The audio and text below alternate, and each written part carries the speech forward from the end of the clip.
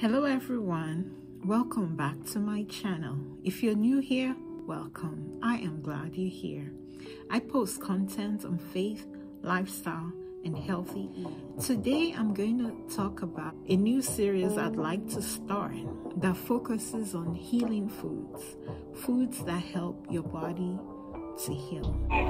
For brass you will have gold. God tells us in Jeremiah 33, verse 6, that He will bring us health and cure. It says, I will bring health and healing to it. I will heal my people and will let them enjoy abundant peace and security.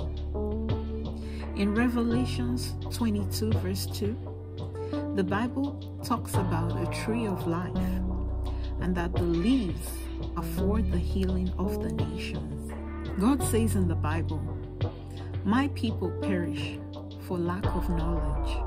Friends, knowledge is power. There are many people out there that are going through one illness or another.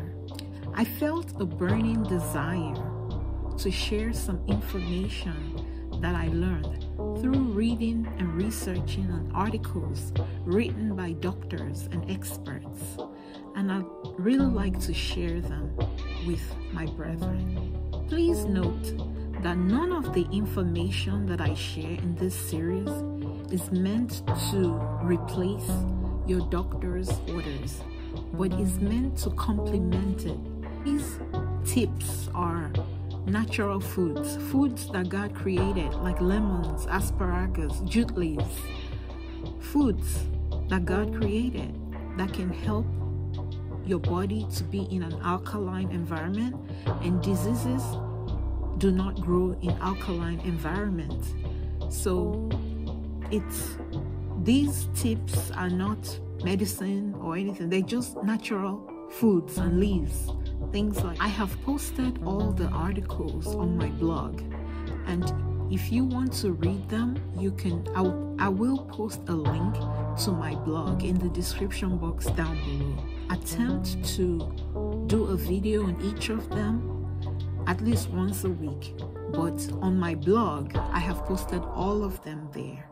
And like I said these articles were written by doctors and experts. Some people question them, but my two cents is that they're not chemicals or medicine. They're foods like lemons, asparagus, oranges, pineapples. They're food. So I don't think that you can overdose on them. so that's just my two cents. But still, you have to do what you feel comfortable to do. Like I promised, I would like to show some of the foods that I eat that are alkaline foods that have healing properties. So stay tuned. So these are the healthy foods that I keep on stack. I eat these foods to help my body heal um, these are not all inclusive, but these are most of them.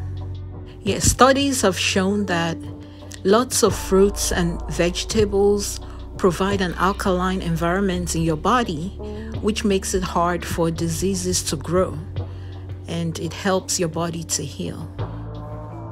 These are some asparagus. If you go to my blog, you'll see an article on how asparagus can cure many ailments.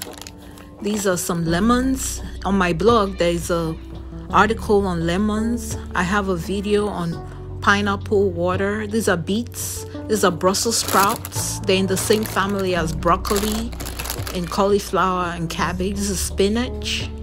This is strawberry, um, raspberry, blueberry, blueberries. Berries are very, very good, very healthy.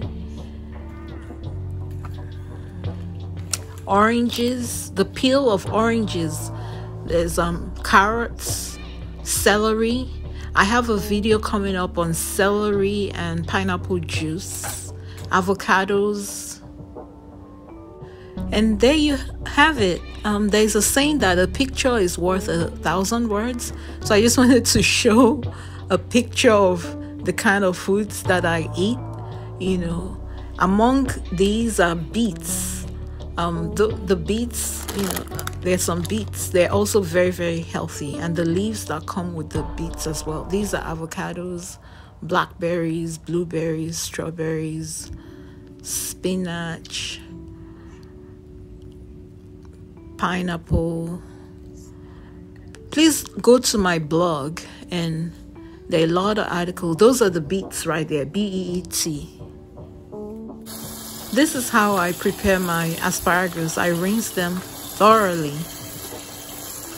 Then I cut off the ends because the ends are very woody, very hard. I cut off the end. Then I chop them into little pieces and then I put them into a Ziploc bag and freeze. For brass, you will have gold. For iron, you will have silver. Everywhere you've been.